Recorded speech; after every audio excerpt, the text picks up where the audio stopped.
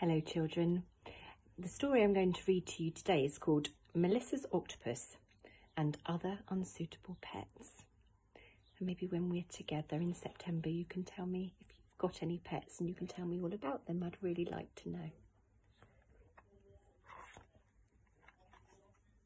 Here is Melissa's octopus. What a splendid creature he is.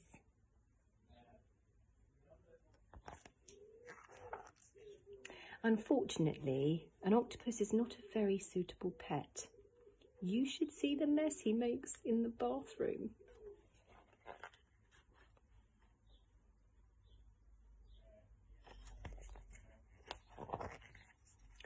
Thomas has a much smaller pet, a lovely little mole. But the mole is always digging tunnels, which makes him very hard to find. Thomas never knows where he'll pop up next.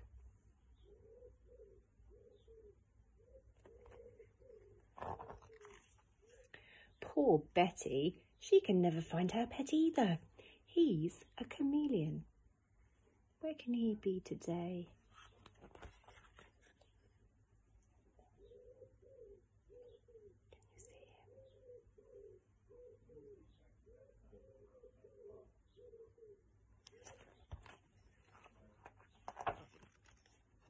This is Arthur's warthog.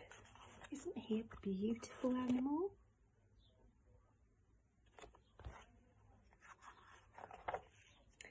But a warthog is not a great pet. A warthog does exactly what it wants. Mm. It's eating those lovely flowers. Caroline's giraffe is a gentle pet with lovely long legs. Oh, look. She needs a ladder to get to his face. She's a bit too tall for Caroline. Oh. Nice hug. This is Simon's worm. He's not a bad pet, but Simon never knows which end to talk to. Hmm.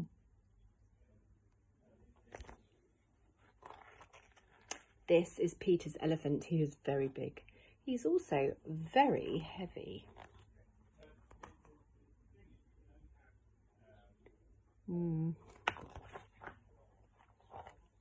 Sometimes he's upstairs and he ends up downstairs by mistake.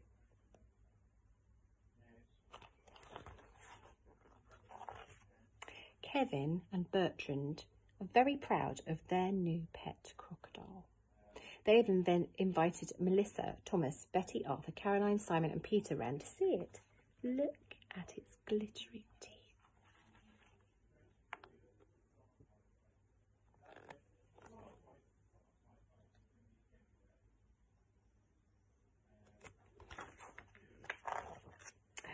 Hey, Crocodile, what have you done with Kevin and Bertrand? And where are Melissa, Thomas, Betty, Arthur, Caroline, Simon and Peter? Oh no. What do you think's happened to them? Oh, phew. They're all having tea together. But next time, they'd better watch out.